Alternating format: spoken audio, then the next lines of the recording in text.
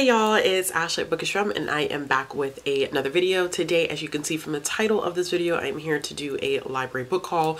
So I have said in other videos that I am doing separate book hauls for stuff that I receive and stuff that I have purchased for the month because of the fact that I used to do that in my vlogs and I'm not doing weekly vlogs anymore. So I am going to create that as a separate video, which I have done for I believe September and October and there will be one coming this month. However, I still do haul a lot from the library. As a matter of fact, most of my book hauls are actually stuff that I have received as opposed to stuff that I purchased.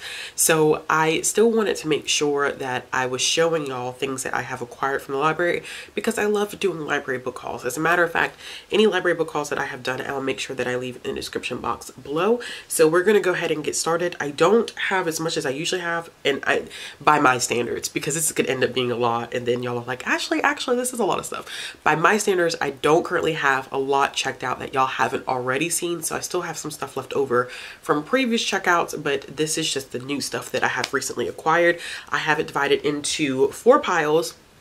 The first pile that we're going to be going through is picture books. Then I have children's and middle grade and then I have a pile of YA and then I have a pile of graphic works which includes manga, graphic novels, and comics. So we're gonna go ahead, get started, and jump right in. So the first book that I want to show you is a nonfiction picture book and it is called Exquisite and this is a, about the poetry and life of Gwendolyn Brooks. Gwendolyn Brooks was the first black person to receive the Pulitzer Prize and this picture book actually just chronicles her journey as a child and then her writing and just her various experiences. And I haven't been able to read this one yet. I got this one actually for me.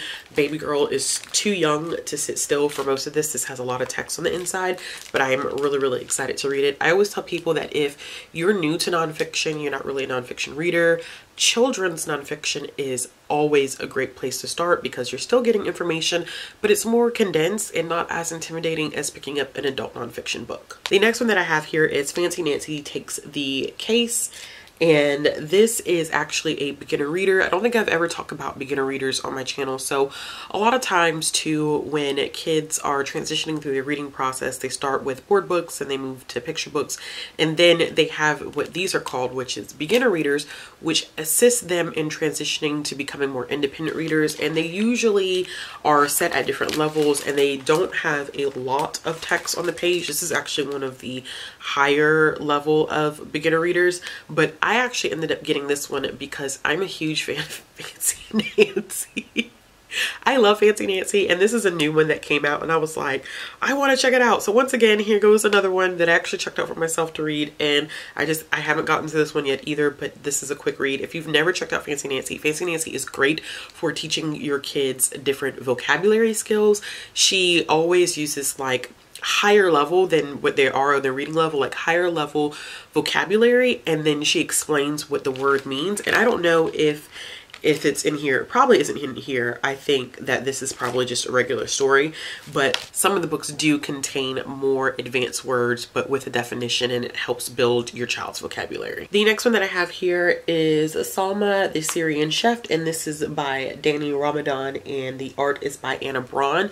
And this is a picture book about a character of course by the name of salma who ends up coming to the states with her mom from syria. Her dad is still in syria and she's noticed that her mom is really really really just down and depressed and she wants to make her happy by cooking a traditional Syrian meal and she doesn't really know the recipes or the ingredients so it's about her figuring out those recipes and making a meal for her mom and I think this is going to be great. I actually really really love the artwork in this one.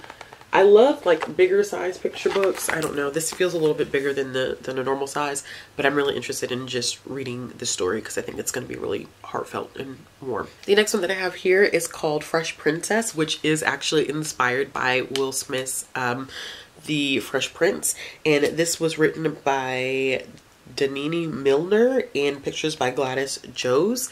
And this is specifically about a girl who moves to a new neighborhood, of course, and she's having trouble adjusting because nothing is like her old neighborhood. But as always, she has a plan. She's ready to mix and mingle, get to know people, and kind of make this new this new home, her home.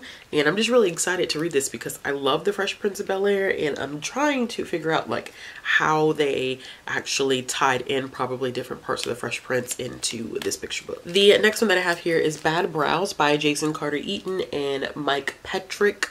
This is one that I actually have read with baby girl and my mom has seen me read it to her and she's like, don't read that baby this book anymore because it literally is about a little boy who loses his eyebrows and then he wakes up with these eyebrows on his face and they are completely off on their own adventure and they do things that he's not used to doing. And my mom was like, that feels like a horror movie, but it really is good. It's it's hilarious and it's cute. You can see like the, the different eyebrows. I thought it was absolutely hilarious because it is essentially about this kid and his eyebrows just doing their own thing. But I, I, definitely would say this is for an older audience. Baby girl wasn't really interested in this one, but I found it hilarious. The next one that I have that we actually have read together too is Child of the Universe, and this is by Ray Hana.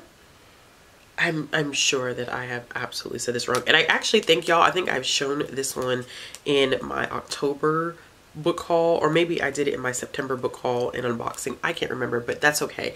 I'm going to show it again because this is an absolutely beautiful picture book and it is about a young girl and her father just talking before bed and he tells her that the universe has conspired to create her and the artwork in this is so pretty it is absolutely beautiful and baby girl really liked this one because the artwork was so nice. I'm trying to find yes this is it. This full-length image it is beautiful.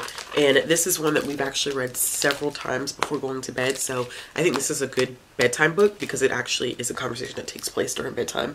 But we have read this one multiple times and i know i'm showing it again. I think a couple of these i've already shown before but that's okay. Okay so the next pile that we're going to move to is going to be our children's and middle grade pile. And the first one that i have in this pile is the derby daredevils kenzie starts a team by kit rosewater and illustrated by sophie Escabasse, Escabasse, and this is about two girls who decided they want to be a part of a roller derby team and then they find out that their city is actually creating one but then they have to have five team members and actually to participate in the new league. And it is an exploration about that and girls being involved in roller derby but also a conversation about friendship because the two girls are best friends and then one of the girls actually ends up becoming friends with a lot of people and it bothers the other girl. She's like why is she becoming best friends with everybody? So I think that this is going to be an interesting exploration of actual like middle grade friendships and how they alter and how they change and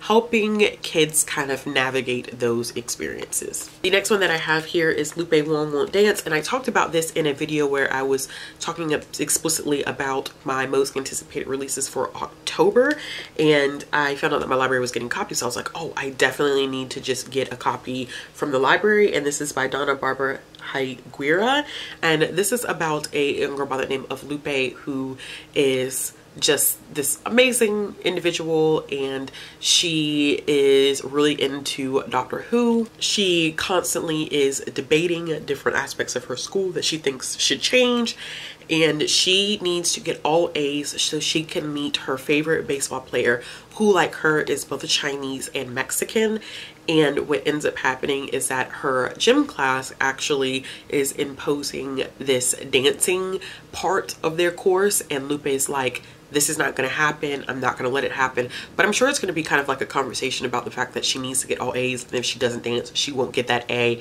And then she won't meet, meet her favorite baseball player. So I, think this is going to be interesting. I think that Lupe is going to be a funny character. And I cannot wait to read this one. The next one that I have is Ghost Squad written by Claribel A.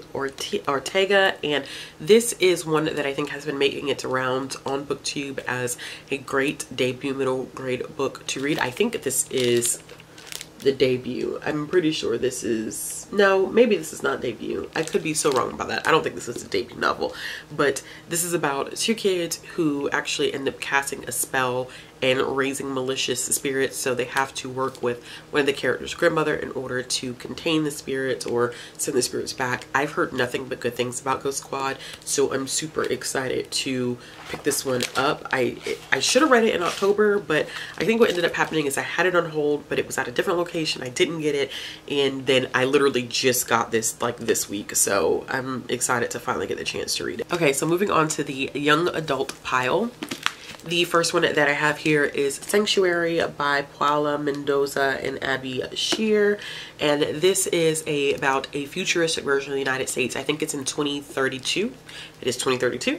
And what ends up happening is that everybody in the United States basically has been given a chip and the chip is implanted into you and it's a way for the government basically to track everybody and this focuses on a character by the name of Vali who is an undocumented immigrant and they have fake chips and they have been able to live in Vermont and eventually her mom's chip actually goes haywire because it's fake and I believe that the deportation force is actually made aware that there's something going on with her chip and that they actually may be undocumented. So then they try to escape to uh, California. I was about to say Florida, but it's actually California, which is considered a sanctuary city and is actually being walled off from the rest of the country because it is a sanctuary city. I think that this is going to be very interesting considering the times, the conversations that are currently happening about immigration and undocumented immigrants and sanctuary cities.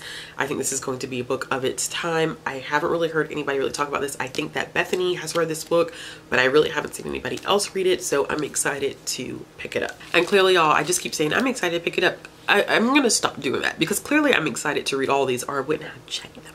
The next one I have is I'll Be the One by Lyla Lee and this is about a young girl by the name of Sky who has dreams to become a K-pop star and she enters this televised competition to become a K-pop star but she is plus size and she realizes that there is a huge problem with fat phobia in the industry. This is one that I'm just intrigued by because I think that no matter what industry that you into, enter into, especially when it's like entertainment specific, there's a huge issue with body image and fat phobia and fat shaming. And I'm very happy first that this um, cover actually features a model that is plus size. It is very frustrating as a plus size woman to read books about plus size characters and the covers do not fit the fact that we're talking about a plus size main character. So I am happy about that.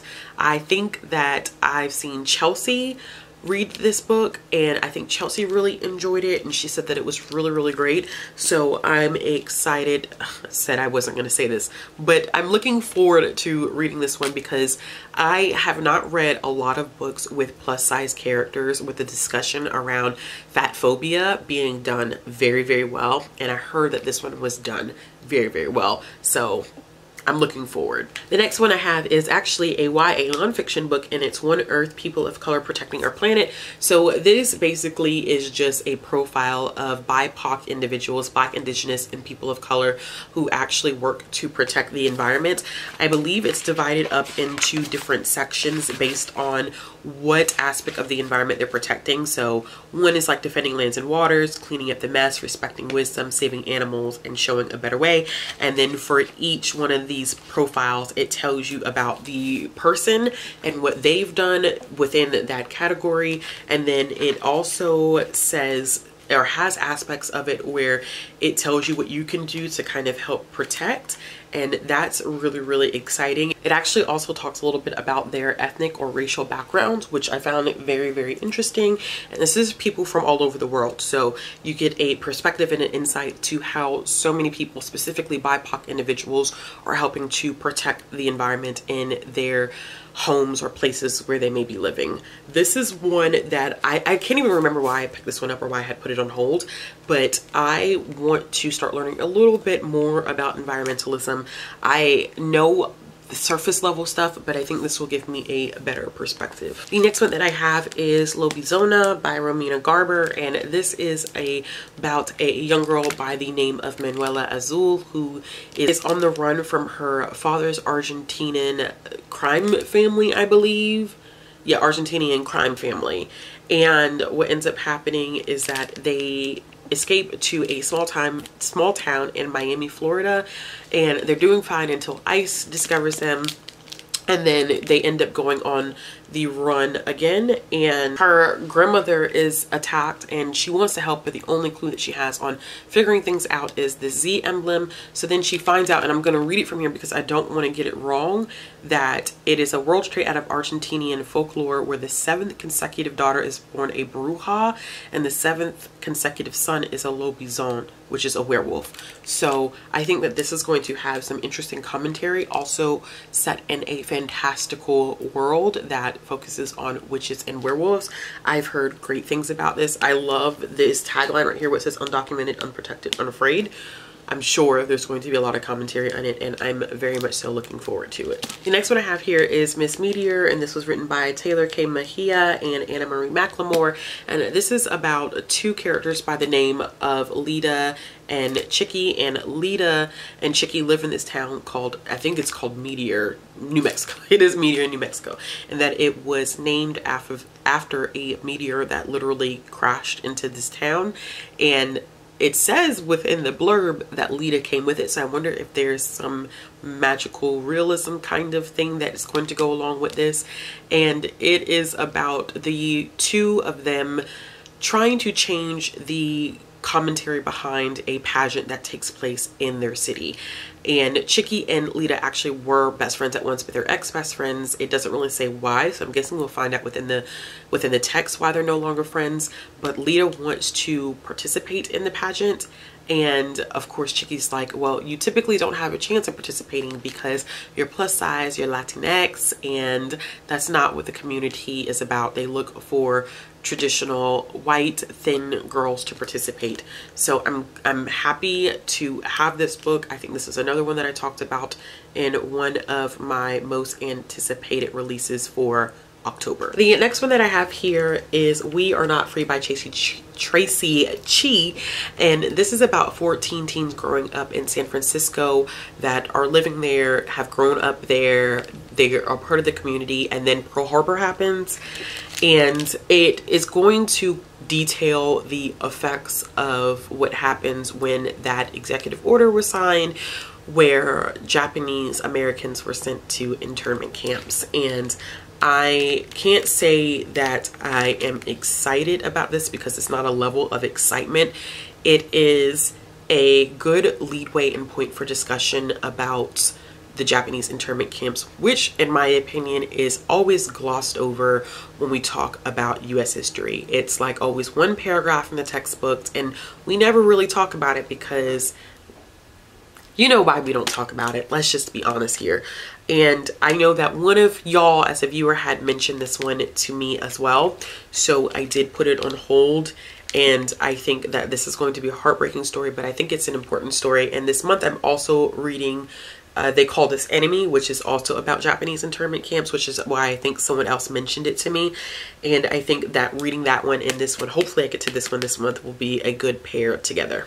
All right, and the last section that we have is going to be the comics, manga, and graphic novels. Some of these I have already read, so I just still wanted to show you that I had them checked out. The first one that I read, which you will see in my November wrap up, is going to be Bitterroot Volume 1 Family Business. And this is one that I read for the second time. This is about a family that is, I think they live in Harlem. They do live in Harlem. And it is an interesting look at a paranormal view of racism. What ends up happening is that this family combats these weird monsters, but these monsters are actually humans that have allowed that have allowed racism and bigotry and prejudice to consume them and it is their job to fight them. But there's also this extra component to it that I don't really want to go into because I'll talk about a little bit in my November wrap up but this is such an important um, comic book series. The second volume just came out and I think that this is one that more people need to be reading more people need to be talking about especially the climate of this country the artwork is very, very interesting, very, very intriguing, and it's just a wonderful story and one that I will continuously reread because it's just that important. The next one is one that I'm actually currently reading. It is Sorry for My Familiar Volume 1, and this is by Tekka Yaguraba, and this is about a demon girl by the name of Patty who has trouble finding a familiar, which I think everyone's familiars are supposed to be like animals, but she couldn't find one, so she has a human familiar. And it's it's very cute. It's been funny so far. They're on this journey where they're supposed to be helping Patty find her dad who just kind of disappeared because of loan sharks. And her human familiar is happy to be her human familiar because he is a scientist. So he is doing like studies on all the creatures that he comes across. I just think they have a very, very cute dynamic and I'm enjoying it so far. I actually checked out the second volume, but it's at hold. It's on hold at the library, so I don't have it in this haul, but this is a manga series that I found out about through Shay and I'm enjoying it. The next two that I have are part of one series and that is Kakuriyo Bed and Breakfast for Spirits by Waco Ioka and this is volume one and this is volume two. I have read volume one which i talked about in my october wrap up and i just checked out volume two which i have not started yet. But it's about a young girl who ends up going to this demon world for lack of a better term and she is stuck there because of some decisions that her grandfather made and it's about her trying to make her way within this world and live and survive and she's a really really great cook and I think that what it's building up to is that there's this restaurant that exists there, but like everybody hates it because the menu hasn't changed. And I think what's going to end up happening is she's going to end up getting her own restaurant and changing things up in the world and stuff because she was supposed to be forced to marry this guy. And she's like, I'm not gonna marry you. Like, so he's like, oh, okay, if you're not gonna marry me, then guess what? You have to figure out how you're gonna live here. So I think this is this has been great so far and really, really quick reads. The next one that I have is one that I'm almost finished with, like literally probably 20 pages of this left. And this is Displacement, a travel log by Lucy Knisley. Knisley. I'm, I'm probably saying her last name wrong. I actually did not mean to check this one out. I was looking for another graphic novel by the name of Displacement and this one is the one that actually came in so I put the wrong one on hold but I started to read it anyway because I was like okay well I have it now I'm just gonna check it out and read it and it's actually been a really really interesting read because it's about a woman who takes her grandparents on a cruise and they are in their 90s both of them are in their 90s and they are incapable of taking care of themselves. So it is from her perspective of learning what it means and what it entails to be a caretaker to someone and how stressful but also how rewarding that could be and her experience in watching her grandparents for lack of a better terms deteriorate and coming to grips with the fact that they are older and they're not the same people that they used to be. It's very interesting. Most of it is done in watercolor and pen, so there's not a lot of coloring and stuff that's going on on page, but I do like seeing her just do this kind of thing of self-reflection and also just talk about her experience and what that cruise was like. I think she has a couple of more of travel logs like this, but I I was surprised because I really didn't need to check this one out. Next, I have Persepolis by Marjane Satrapi. This is the complete bind up. This is one that I've read like three or four times already. So I'm rereading it for Nonfiction November. It is about her experience growing up in Iran during the Iranian Revolution and also her time in which she immigrated from Iran to Europe. I can't remember exactly where she went, but this is a great look at Iran and she is very adamant about talking about the cultural aspects of Iran and what Iran is like because Iran has this reputation from the rest of the world and people just don't really know anything about Iran and how the invasion of the British, of the US, of other foreign powers really played a role in the way that Iran has developed into a country. So if you haven't read Persepolis, definitely read it. And the last one that I have here is The Best We Could Do, which is a non-fiction graphic memoir about a family that moves from war-torn Vietnam to America and just talking about the universal struggle with parenthood and immigration and being an immigrant. I think that this one is really cool because it's just done in this consistent muted color, which I really, really like. And I'm just a huge fan of graphic memoirs anyway. So this is one that I hopefully will pick up before the end of the month. All right, y'all. So that's it. That is my November library book haul. I'm going to make sure that I still do one of these every single month because I do rotate my stuff in and out constantly. I mean, I work in the library, so I'm, I'm around library books all the time. So I will make sure that I rotate all my stuff in and out. If you are interested in any of these books, let me know. Let me know how you use your library. Are you using your library more? Just, you know, I'm a huge advocate for libraries. So I hope everybody is using them. As always, if you like this video, give it a thumbs up. If you want to see more content from me, click the subscribe button, hit the bell for notification. If you're looking for ways to support my channel, the links will be down in the description box as well as ways to follow me on social media. And I'll be back with another video soon.